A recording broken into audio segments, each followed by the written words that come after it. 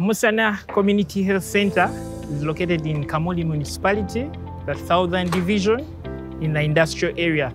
It's a strategic area in that it's accessible to a number of people in the area and beyond. And I'm Dr. Francis Oneka, the in charge, and I'll be taking you through this facility. So please come with me. This is our reception area. This is where we receive the patients as they're coming in.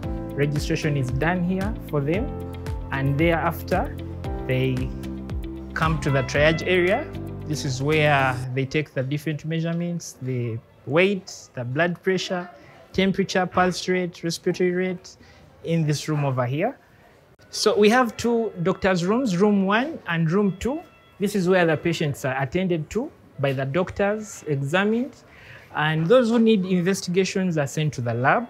This is our laboratory different investigations are done here, including uh, chemistry, we have uh, hematology, and other tests.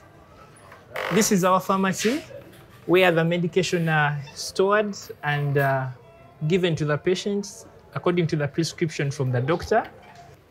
This is our emergency room where patients with emerg medical emergencies and surgical emergencies are attended to this is our treatment room where patients receive their treatment. Those, uh, those who need different minor procedures, this is the same room where such procedures are done, such as wound dressing.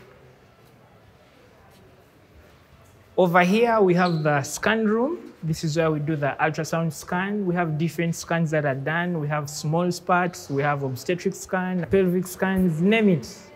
This is the x-ray unit. This is where x-rays are done. It's a digital machine. This is our postnatal ward. This is where we have mothers that have delivered. Uh, this is where they, they stay during their period here. Over here is the theater where the operations are done. Right here we have the nurses station. This is where they do their documentation and also this is where they rest during the night shifts. This is the room where we do antenatal family planning as well as immunization. This is handled right here. This is our labor suite where deliveries are done, the normal deliveries. This is our neonatal ICU. It's well equipped. We have the incubators, we have the baby warmer, we have uh, oxygen concentrator, oxygen cylinders to be able to manage the patients. This is the male ward where we have male patients admitted. We have private room one. We have the physiotherapy unit. Private room two. We have private three, private four, and the dental unit over here. The control room. This is where we do the ICT, the ICT control center. This is administrator's office. This is the children's ward over here. We manage different conditions in the children over here. Right here is the female ward where we manage the patients, the female with different conditions. This side is our boardroom.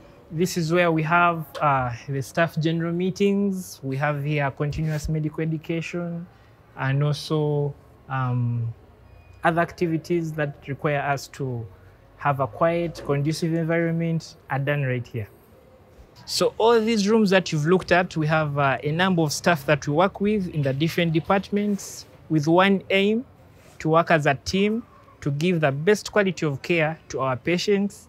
And through all this, we've been able to see quite a great impact in our community. We've been able to meet the health needs of a majority of them and we strive to continue doing the same in this region and beyond.